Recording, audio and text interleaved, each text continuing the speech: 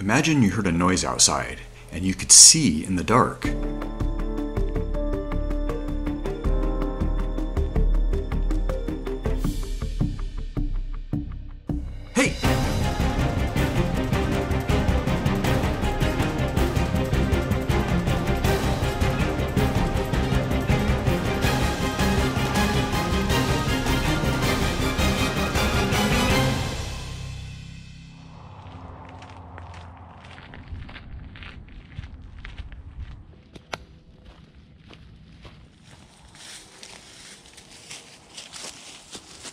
This is the WildGuarder Owler 1. The Owler 1 from WildGuarder is a digital night vision binocular that lets you see well into the distance, day or night. Let's see what's in the box.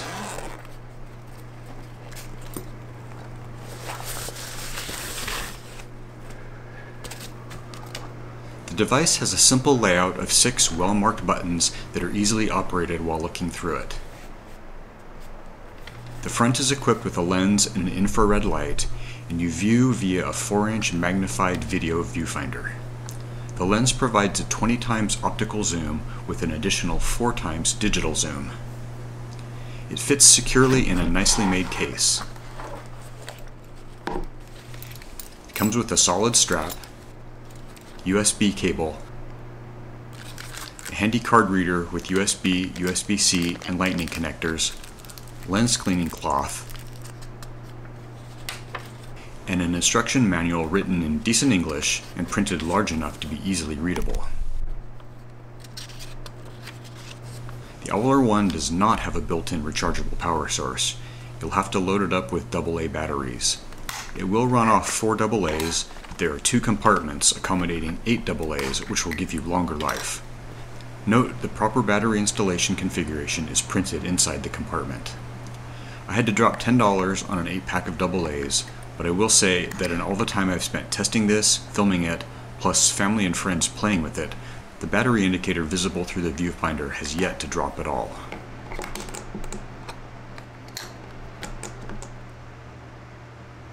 On the side, you'll find an HDMI output for playback on a TV, a USB port, and a memory card slot. The Owler 1 comes with its own 32GB micro SD card, so you're immediately ready to get out and start capturing photos and video as soon as you install batteries. The strap is nicer than I expected, with fully swiveling metal clips that are easy to attach and detach.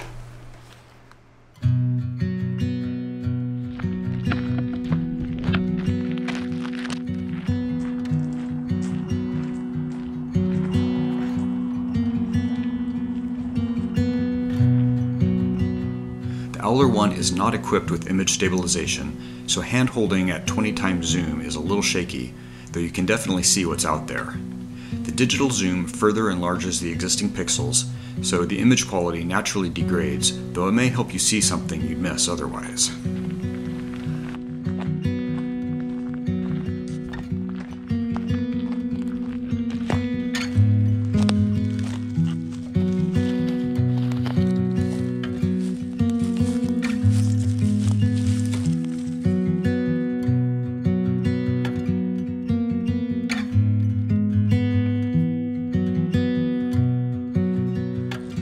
So I don't know if those of you who regularly follow my channel noticed or not, but I have hardly been doing any product reviews anymore on the channel. However, when uh, reached out to me and asked if I wanted to take a look at this device, uh, I was actually interested for a couple of reasons. So I don't own a pair of binoculars, but I've long wanted to get a set to keep in the truck. It's pretty common that uh, I'm out in the backcountry and I see something off in the distance on the next ridge line or whatever, and I can't quite tell what it is, and even if I zoom in with my video camera, I just don't have quite enough reach to make out what it is. A lot of times out wandering around eastern Oregon or even down in Nevada and other states, wild horses out there is always a thrill to find wild horses, but they're very shy. They largely seem to stay away from people. They run away quickly. Sometimes you see a dot off on the horizon and can't quite tell is that a cow, is that a horse? So I thought it would be nice to have some binoculars. When WildGuarder reached out to me about their device, one of the things that I thought was intriguing about it was not only the digital screen, uh, which you know reminds me of using a camera, feels very natural, but also the thing will actually record videos or take photos. So if I do see something off in the distance and I bring it into focus and like, oh wow, there's some wild horses out there, I could actually capture some video of it. Clearly, this is not designed to be a video camera and the footage that comes out of it is does not compare to what I get out of my dedicated video camera. But uh, getting some kind of shot is better than getting no shot at all. So I thought that was intriguing. Now obviously this is a little big, bulky, and heavy to be out hiking with. Um, I personally am not much of a hiker. I'm usually traveling around in my vehicle and that's when I'm most likely to spot something. So I imagine you're not going to take this backpacking, but it stows into a nice tidy little package with the case that it comes with, easy to throw in the truck and, and keep it handy. This is more than just like digital binoculars. This is also a night vision device and that was the other element that I thought was kind of intriguing about this product. Now, it's not uncommon at all to be out dispersed camping in the wilderness by yourself. Hear some noise out there. It's absolutely no light, impossible to see what's going on. I love the idea of being able to grab this, turn on that infrared light and look out there and see what I can see. Um, if it's up close or, you know, even if it's further out, you can zoom in. A nice capability to have while out camping. So earlier in the video, I told you about um, all of the sort of features of the Owler One. Uh, let me tell you about a few little um, quirks and details that maybe I feel like could use some improvement, or that at least I struggled with a little bit. First of all, um, the, the screen is great. It's really nice having this big, bright screen to look at. It's reminds me of looking, you know, through one of my digital cameras with a digital display, which in many ways is nicer than actually looking through a lens. The struggle that I run into with this is that there's no sort of diopter adjustment and I cannot see things that are up close. I need reading glasses to see things up close. So I pull this all up to my eyes all the way I even if I get the image in focus, I can't get my eyes to focus on that image. The only way I can really get a good look at the image is to actually put my reading glasses on and then uh, up close or at a little bit of a distance like this, I can make out the image a little bit better. And with this kind of viewfinder screen, I mean, maybe it's just not possible to build in some kind of diopter adjustment because it's running on eight AA batteries that at 10 bucks a set, I don't want to blow through unnecessarily quickly. You know, my instinct is to shut this off as soon as I'm done looking through it. Because there's a good, at least three second delay in starting this up. Uh, when I spot something, um, it's not a quick process to get, you know, glass on whatever I'm trying to see. I got to press and hold that button, make sure that it's actually coming on. I got to fumble around for my glasses to get my glasses on. By the time I go through that, whatever I was trying to see may have moved off. And that brings me to another little struggle that I have is that it's fully manual focus and I don't know if there are other products along these lines that are autofocus. I'm accustomed to looking through the zoom of my video camera which has excellent autofocus system. Very, very easy for me to find my subject, zoom in, keep my eye on my subject. Maybe I just need to spend some more time with this to get used to it, but I find myself really struggling to um, pull it up to my eyes, get it zoomed in on the subject, and then as I'm trying to zoom in, you know, it goes out of focus and I'm trying to focus it and now I'm further zoomed in, but now I no longer know where my subject that I'm trying to look at is and so I might raise my eyes and look for something, but then I can't see in the distance if I've got my glasses on that I need to see through here. And so as you're zooming in on your subject, you lose focus, which makes it very difficult to track your subject. And then by the time you get it back into focus, because you're so zoomed in, um, you know, it's disorienting, you get lost, and over and over and over, I try to zoom in on my subject and uh, I end up losing it then I'm zooming back out and trying to find it again and trying to zoom back in on it and losing focus again. At that distance, the slightest little movement, your, your field of view may have changed just in the process of doing that. With that kind of magnification, uh, hand holding the device, uh, you definitely get a lot of jitter. There is no image stabilization. Again, being accustomed to my video camera, which has uh, some excellent image stabilization built in, the way this jitters around feels a little bit jarring. Now this does have a tripod mount on the bottom, and I think that's probably a really great way to use this. If you can mount it on a tripod, then you're gonna get a much more stable viewing experience and recording experience if you're shooting some video. Having this on a tripod makes it much, much easier to keep your eyes on your subject if it's a, at a great distance and also to get more stable footage that's not so shaky. Now, obviously for quick on-the-fly scenarios, if you're hiking or driving through the wilderness, you know, getting out a tripod and setting it up and putting everything together, you know, that's not a realistic scenario. But if you are out, I don't know, birding or some sort of situation where you're able to set up, or I mean, I suppose surveillance of some sort. I mean, I'm up here on this hillside, sort of in the shadows of the trees here, and I can clearly see those people that are, I mean, I don't know, I'm not very good at judging distances, but looking at that football field there, I would say those people are a good two football fields away, 200 yards, maybe a little less than that. 160, 170. I don't know. I'm not very good at that. If I was a private investigator and I was trying to track someone or see what they were up to, none of those people have any idea that I'm up here watching them. I mean, it's almost creepy. As you can see, you can't quite make out exactly who those people are, but if you knew who someone was, you knew that your subject was in an orange shirt walking down this street, pretty easy to track and see where he goes. I was sure I was misjudging those distances, so I used Google Maps to check. This flagger down at the corner was my closest subject, but was actually 266 yards away.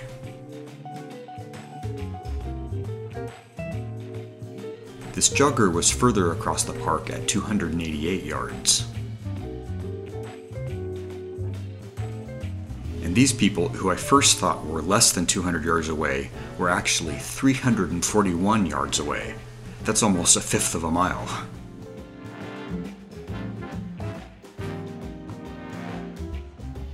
So this obviously has a tripod socket on the bottom. Uh, if you want to use it regularly on and off a tripod uh, quickly, um, it's useful if you got a tripod that has a quick release plate. I have an extra quick release plate, and so I put it on the binoculars so that I can just slip it right on my tripod and I'm ready to go.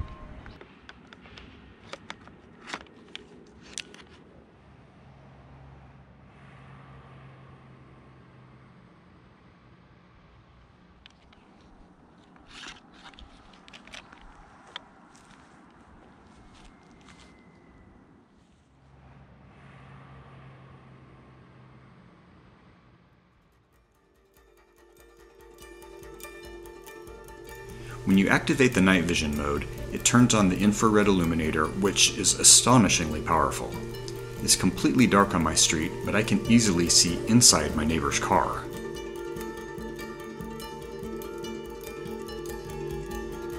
I can also clearly see what's inside his unlit garage he left open.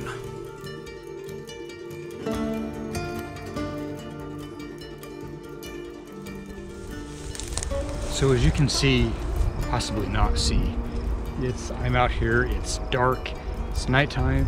I'm gonna see what I can see. The infrared light can be adjusted to be wider or more focused, but even at its widest setting, it creates a hot spot that actually makes it a little difficult to scan for your subject. When the viewing lens is magnified, the light beam creates a more even illumination.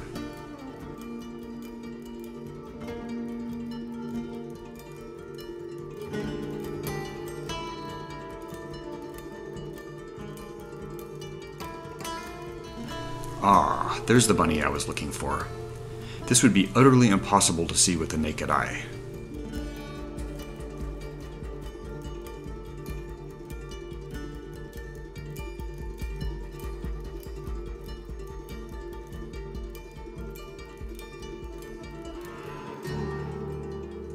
I'm impressed by how well I can see even a small animal at considerable distance in complete darkness.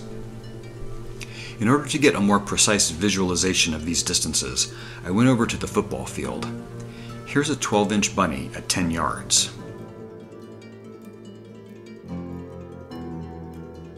Here he is at 20 yards. Now he scampered off to the 30 yard line.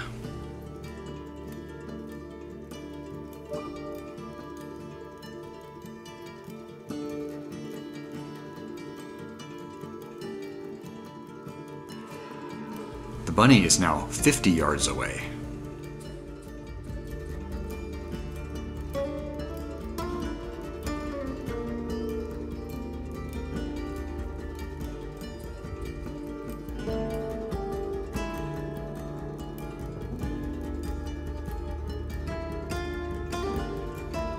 At 100 yards, you can still see him lying on the ground there next to my bike.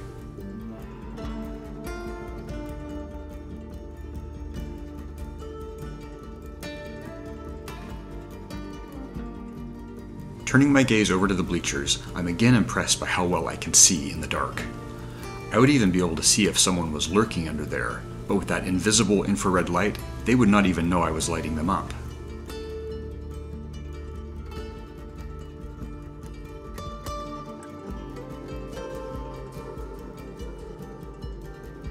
Across the park, I can easily see people playing on a lit volleyball court.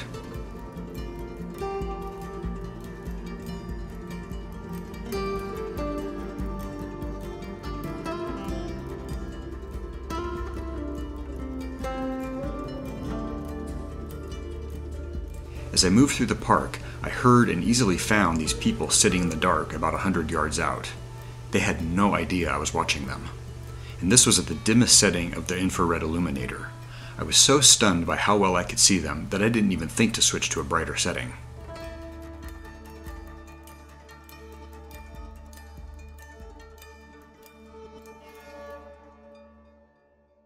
Okay, I know I threw a lot of diverse details at you in this video, but here's some conclusions to sort of wrap it up.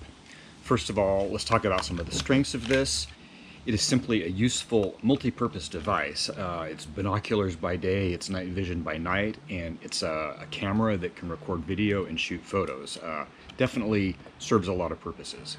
The reach is impressive with the 20 times zoom, and then you can stretch it even further with the digital zoom. Really can bring you a lot closer to something that's far away. The night vision is very impressive. I was impressed and stunned by simply how well I could see in the absolute darkness, stuff that I never would have been able to see, just very, very clear and at a considerable distance as well. Really blown away by the night vision provided by this. The display is bright, clear, uh, really easy to look at.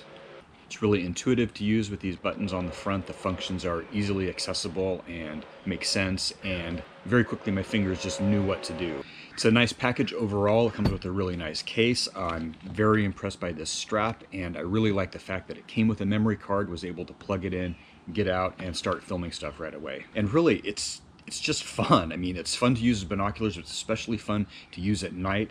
Everyone that has come over and seen this thing has wanted to take it out and play with it. Uh, I've had many people have their hands on it. It's a fun, interesting thing to, to have in the vehicle. So as I mentioned in the video, there are some things that could use a little bit of improvement. With no image stabilization built in, it's definitely sort of jittery hand holding this uh, when you're fully zoomed in. And it does make any video that you capture fully zoomed in probably unusable for anything other than like purely documentary or um, evidence or, or whatever. It's difficult to watch the handheld footage because it's just quite very jittery.